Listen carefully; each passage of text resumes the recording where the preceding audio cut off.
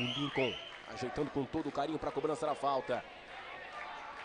São três jogadores na barreira. Já autorizado. Lincoln, pé esquerdo. Partiu para a cobrança. O levantamento. Toque de cabeça. Gol